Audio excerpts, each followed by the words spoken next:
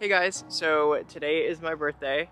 Um, I'm gonna head over to Sugarbush and go skiing a little bit, and then after that head over to Waterbury and grab some lunch, and after that maybe head back to Burlington and check out what's open. It's a Monday and it's during the pandemic, so don't know if too much is gonna be open, but we'll see what is. And uh, this is actually the new camera that I got yesterday, the Sony ZV-1. So let me know if you guys think the quality is better than the iPhone or the microphone is better. I have the little wind canceller on top of it. It looks like a little toupee for the camera, but uh, I don't know if it's doing anything. Hopefully it's working. Hopefully you guys can hear me a little bit clearer than the iPhone. The iPhone tends to pick up ambient noise from all around, whereas this is supposed to be a three-directional microphone. I say that like I know what I'm talking about, but I have no idea what any of that means. But anyway, let me know what you guys think, if it sounds better, if it looks better to you guys, and let's go have a good day. It's finally warming up.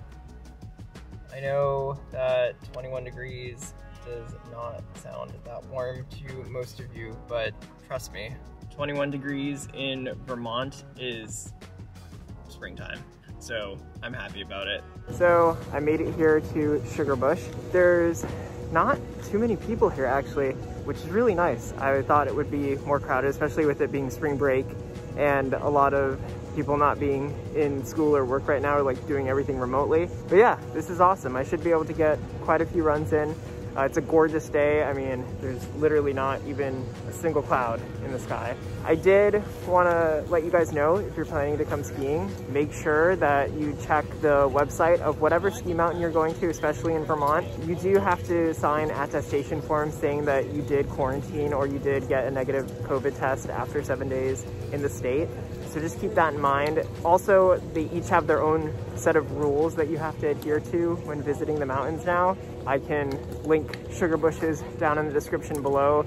But yeah, it's not super hard, easy to follow the rules. I thought about it and it's like I would wear a face mask anyway in the winter time because my face gets cold and it's like 21 degrees out, but it is so nice out today.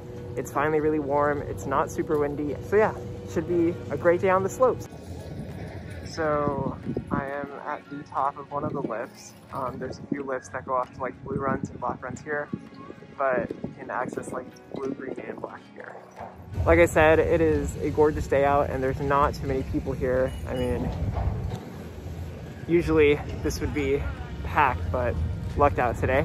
If you're not used to East Coast skiing, it's a lot different than West Coast skiing. It's super icy here it's not very powdery and especially later on in the season like now we're into march um, it'll definitely be more ice and slush so just expect that if you're coming to the east coast to ski and you've never skied out here before or if you're learning to ski just know that it's to hurt a little bit more when you fall than learning to ski on the west coast but um, it's pretty fun because you can go a lot faster here than on the west coast but yeah let's head down and uh, hopefully get some good runs in just heading up the lift. Um, just wanted to give you guys a better view of how empty it is. I think this is one of the intermediate runs and um, yeah, there's what, like four or five people on the entire thing. It's really nice. Also, the people here are really cool about social distancing. I was waiting in the lift line and nobody got too close to one another and everybody was okay with singles riding on the, lift alone. So if that's something that concerns you, like going to a ski mountain, know that Sugarbush is pretty chill. All the people here are pretty cool with waiting their turn and uh, letting people be single riders if they want to. Something that I really love about Sugarbush and something that I think sets it apart from other Vermont ski resorts is the fact that all the slopes and all the runs are really wide. Uh, which is great for really flying down the mountain or for taking your time and like carving big wide S's I think that's a really great part of Sugarbush. So this is a map of the resort. See there's two different mountains that you can take the Slidebrook Express Quad over, which is really cool. I've already done the pushover over here and Sleeper Road.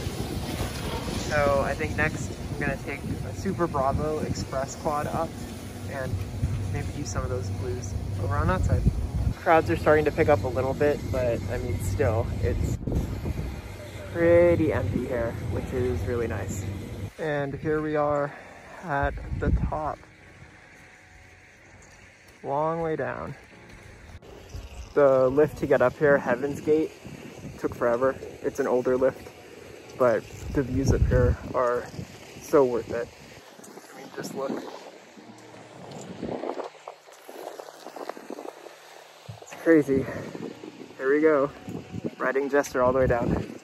Hey guys, so I got off the mountain. It was great. Uh, the conditions were really perfect. It was still a little icy, of course. That's just what you get on the East Coast. But uh, there was really nobody out there, and the slopes here are so wide at Sugarbush that it was really nice just to be able to have the place to myself, really. That's what it felt like. And um, I ended up going down an experts only slope, which I thought in North Carolina I did an experts only slope, so this must be no different. But let me tell you, experts only in North Carolina means something completely different than experts only in Vermont. So it was so steep and I just flew down it, but I survived and I didn't fall at all which was nice because I think my pride would have been hurt more than my body because it was right underneath the lift. So everybody's watching people go down this slope. And it doesn't look as steep as it is until you get up to it and you look down and you're like, oh my gosh. And you start going and you're like, oh, okay, I just fell down the mountain instead of slowly ski down but it was great. And then the view from the top, it was just mind blowing. And the run Jester, which is a blue run and intermediate run, goes straight from the top all the way down to like the bottom of the mountain.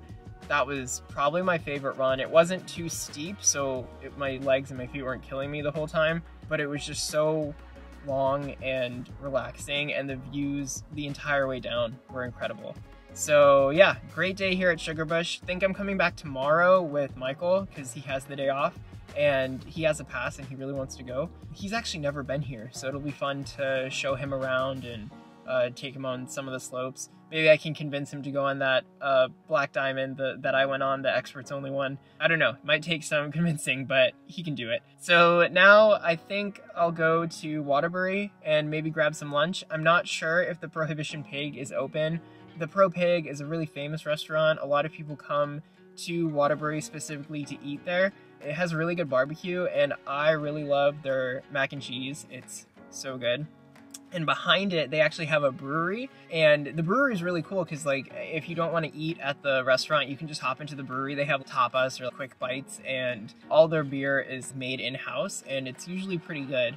So, yeah, I'm gonna head over there, see if they're open. If not, I mean, I'll just head back to Burlington and see what I can find over there. Mondays are weird in Vermont. For some reason, like a lot of things are closed, and I don't know if that's just because of COVID times or before it was like that. I can't remember it being like that, but that's how it is right now. So uh, yeah, I'm gonna head back to Waterbury and then if nothing's open there, head over to Burlington and see what we can find to eat. So unfortunately, like I thought, a Prohibition Pig is actually closed. It's not because it's Monday. Apparently they open at 4, but they're only open for dinner right now. I'm not sure if that's a COVID thing or if that's how it always is.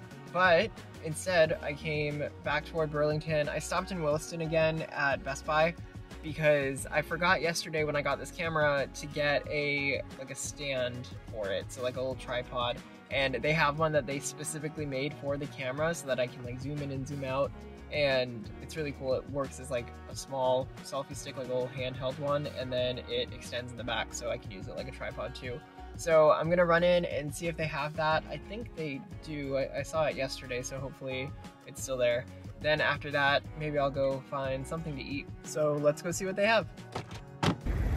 You would think that after a year of all of this, I would remember my mask by now, but I just got out of the car and started heading up to walk in and was like, oh, forgetting something, it's my mask.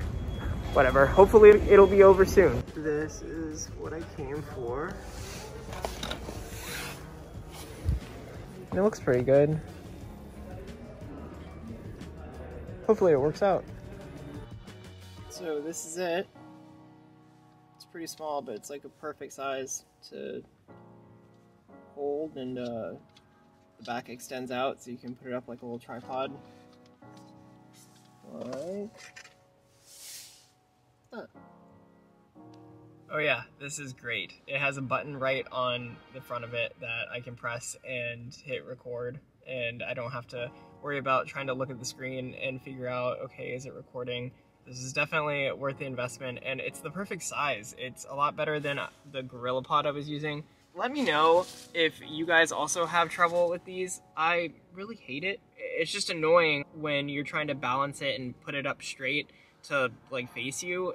These things are so difficult to all get in the same position and maybe it's just because I'm like OCD with it that I need it to be perfect but I'm glad I don't have to use that anymore, at least for when I'm using this camera. I'll still probably keep it for like, if I'm using my iPhone for something, I feel like it might be useful then. But I'm pretty happy with it. Now I'm gonna go get some food. I'll probably go just get a sandwich from uh, Campus Kitchen, which is this small sandwich shop like right next to UVM. After that, gonna head back home to wait for Michael to get off work at 4.30 and then he says he's gonna take me somewhere tonight for my birthday. He said it's a surprise, so I don't know where he's taking me, but I'm sure it'll be good. He always picks really good spots. We'll find out where that is when he gets home. So I just wanted to say thank you so much for all the birthday wishes yesterday.